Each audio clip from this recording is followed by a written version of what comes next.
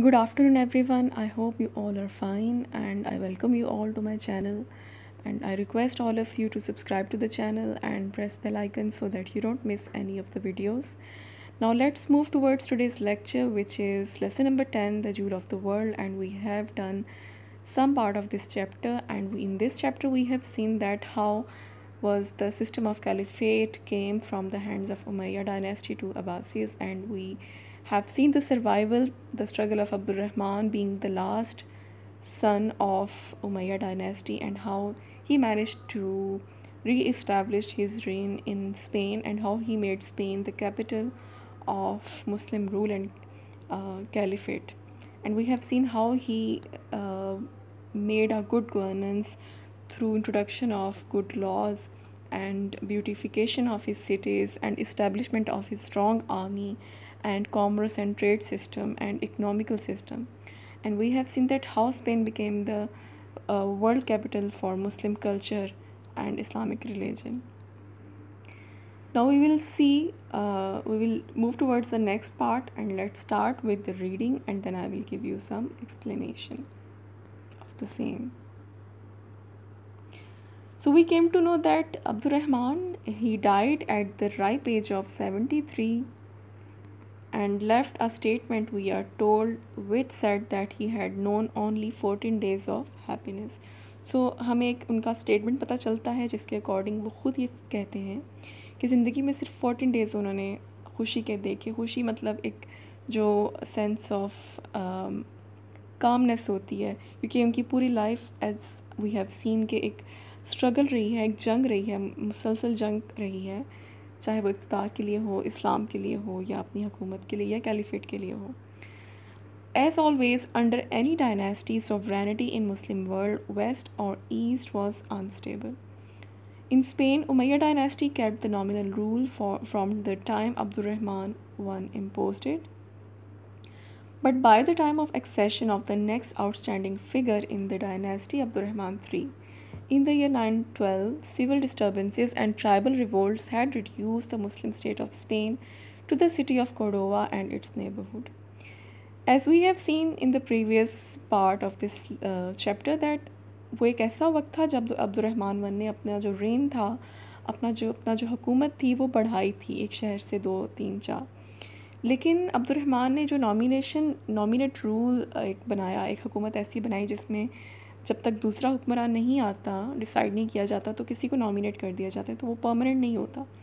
तो इस ड्यूरेशन में जो एक्सेशन थी अब्दुलरहमान थ्री तक, इस दौरान जो भी वक्त रहा है, जो भी दौर गुजरा है 912 तक, उसमें सिविल डिस्टर्बेंस डिस्टर्बेंस रही है। ट्राइबल्स रिवोल्ट मतलब के कबायली जंगें, कबायली आप कह सकते हैं, बगावत रही है, जिसकी वजह से मुसलमान, स्पेन के जो मुसलमान थे, वो स्पेन तक ही महदूद होकर रह गए।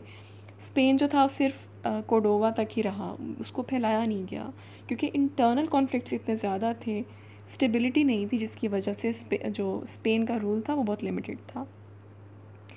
This third Abdulrahman like his illustrious predecessor was a young man when he took office being only 23 and like him also was a youth of intelligence and determination.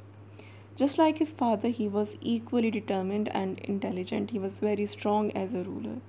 One by one, he reconquered the lost provinces, reduced them to order, and it administered them with sagacity and ability.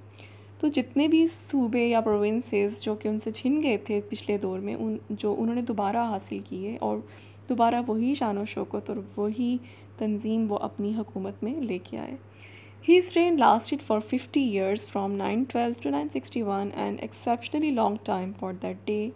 It was signalized politically by the proclamation of uh, by Amir of himself as caliph. तो 50 साल उन्होंने हुकूमत की जो कि बहुत लंबा time था उस वक्त के लिए और उन्होंने ख़ुद ऐलान किया कि वो अब उन्होंने ख़ुद अपने आप को कैलिफ कहा कि yes I am the caliph एक वॉल्टरी एक्ट था ख़ुद उन्होंने उनके जो फादर थे उन्होंने अमीरी तक अपना अप, अपना जो लकब था अमीर बना के रखा अमीर बन के उन्होंने हुकूमत की। लेकिन अब्दुलरहमान थ्री ने कैलिफ का टाइटल लिया। With him Umayya caliphate in Spain begins तो तब से अब्दुलरहमान थ्री से उमैया कैलिफेट एक्चुअली स्पेन में बिगन होती क्योंकि उससे पहले तो वो अमीर के अहदे पे फाइज थे। His reign and that of his two immediate successors marked the height of Muslim rule in the West. उनके आगे आने वाले जो दो सक्सेसर्स थे, जो जानशीन थे, उन्होंने मुसलमानों का जो दौर हुकूमत था, उसको बहुत ज़्यादा एक ताकत दी और वेस्ट तक उसके बारे में बात की जाने लगी इन दिस पीरियड रफली the tenth century Umayya capital of Cordoba took its place as the most cultured city in Europe and with Constantinople and Baghdad as one of the three cultural centers of the world. तो Europe में Constantinople और Baghdad के साथ Cordova को वही हैसियत दी जाने लगी एक बहुत सकाफ़त के लिहाज से, कल्चर के लिहाज से वो बहुत ज़्यादा, हर लिहाज से, इवन ट्रेड, कॉमर्स के लिहाज से वो एक जाना वाना वो जाना जाने लगा। With its one hundred thirteen thousand homes twenty one suburbs and seventy libraries and numerous book shops Masajid and palaces it acquired international fame and inspired awe and admiration in the hearts of travellers travellers use to come there because of there was so much to see like 13,000 homes, suburbs यानी कि रहायशी इलाके इतने ज़्यादा थे There were a lot of libraries and bookshops, masajids, palaces. There were so many in number that travelers they got attracted towards that land.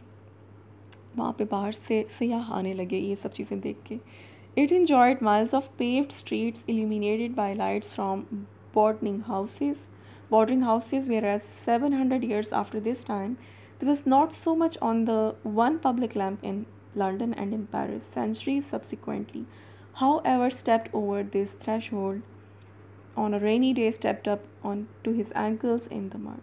So it was the time when in Cordova there were elect there were lamps on the sides of the roads and the roads were paved concrete सड़कें ऐसी बनाई गई जिन पे जो पक्की सड़कें थीं और वहाँ पे लाइट्स का इंतज़ाम था और इवन के उस दौर के 700 साल बाद तक भी अगर आप देखें मॉडर्न एज में भी लंदन में और पेरिस जो कि दुनिया के जाने माने मशहूर और वेस्टर्न सिटीज़ हैं वहाँ पे एक भी लैब नहीं था। और क्या होता था कि अगर लंदन और पेरिस में उस दौर में अगर आप बारिश के दिन बाहर निकलेंगे तो आप कीचड़ में या मड में फंस जाएँगे जबकि Cordoba as compare to they were very underdeveloped, but Cordova, Cordova was well developed and they were that was well managed when it comes to the development. Spain under the Caliphate was one of the wealthiest and most thickly populated lands of Europe. As you, you can better understand, it was the wealthiest. दौलत के लिहाज से population के लिहाज से वो बहुत strong था और बहुत ज़्यादा अमीर था the capital boosted some 13,000 weavers and flourishing leather industry. Now we will see that how they established their industry, trade and business because uh, country depends on its agriculture on trade या तो trade होता है business होता है factories होती हैं या फिर एग्रीकल्चर होता है। तो वहाँ पे अब उन्होंने अपनी इंडस्ट्री को स्टार्ट किया specially leather industry the capital boasted some thirteen thousand weavers and flourishing leather industry from Spain the art of tanning and embossing leather was carry to Morocco and from these two land it was brought to France and England आज France और England को समझा जाता है कि ये इन industries में बहुत ज़्यादा जाना माना है, लेकिन एक्चुअली स्पेन से ये आर्ट आई है लेदर को रंगने की और उसको एम्बॉस करने की, उसको अच्छा सा एक एक खुशबू और एक कलर देने की, जो कि फिर स्पेन से मराकश गई और फिर वहाँ से यूरोप यानी कि फ़्रांस और इंग्लैंड में गई as the terms cordovan cordwainer and Morocco indicates ये स्पेशल किस्म के लेदर का नाम है, जो कि नाम से ही पता है कि ये या तो कॉडोवो से आया है या फिर मोरक्को से। Wool and silk were woven not only in Cordoba, but in Malaga, Almeria and other centres. तो स्पेन के दूसरे इलाकों में वूल, यानी कि ऊन और सिल्क का कपड़ा भी बुना जाता था। The raising of silk worms originally a of the Chinese was introduce by by in to Spain where it thrived कुछ मुसलमानों ने स्पेन चाइना से जाके सीखा कि किस तरह आप सिल्क वर्म्स यानी कि रेशम के कीड़े पैदा करते हैं और उनसे किस तरह रेशम का कपड़ा पैदा करते हैं और उन्होंने जाके उसको स्पेन में सिखाया लोगों को। Paterna and Valencia was the home of pottery pottery in cities में की जाती थी। पॉट्री होते हैं मिट्टी के बर्तन बर्तन बनाने का हुनर। Jaen and Gal were noted for their mines of gold and silver इन शहरों में सोने और चांदी की कहानी थी। So it shows that it was rich in the mineral resources Cordoba for its iron and lead so in Cordoba we could find iron हमें लोहे और कांसी की, कांसी के ज़ख़ायर मिलते थे. And Malaga for its rubies rubies are the precious jewels जो कि मेलेगा में मिलते थे. तो ये सब सिटीज़ जो हैं, ये स्पेन के हैं. Toledo like Damascus was famous all over the world for its swords तो टोलेगो जो था, वो स्पोर्ट्स के लिए जाना चाहता था. ये कुछ ऐसे शहर हैं यूरोपियन स्पेन के. जहाँ पे ये सब चीज़ें मिलती थी। The art of inlaying steel and other metals with gold and silver decorating them with flowers patterns धातों को मिला के और सोने चांदी को और स्टील से मिला के ख़ास किस्म की धात बनाना और उन पे फूलों के pattern banana and art introduce from Damascus जो कि डोमेस्किस से आई थी। Flourished in several Spanish and other European centres and it then flourished and spread to other cities like European countries European centres so that was all for today and we have seen that how abdurrahman iii established his rule and how he took the title of caliphate again and then spain for the first time uh, became the became the one city or country to acquire the title of caliphate. And then we have seen their uh, industry flourishment that how it flourished and how they give boost to their industry and their economy so that's all for today now note down your questions for today's assignment